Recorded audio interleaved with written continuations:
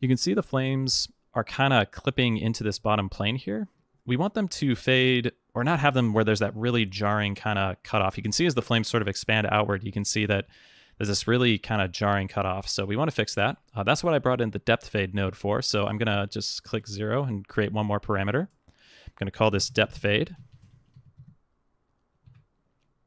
going to give this a default value of 20. I'm going to plug this into the fade distance. And what this node is doing is it's going to detect where other surfaces are and decrease the opacity based on distance. This is an extremely powerful node that uh, is one of the main reasons that you use additive and translucent materials is that we can get them to fade uh, when they touch objects instead of clip into them, which is a very, very nice effect. Uh, so I'm just going to plug this end chain result into the opacity here.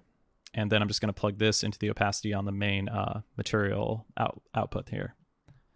And when I compile that,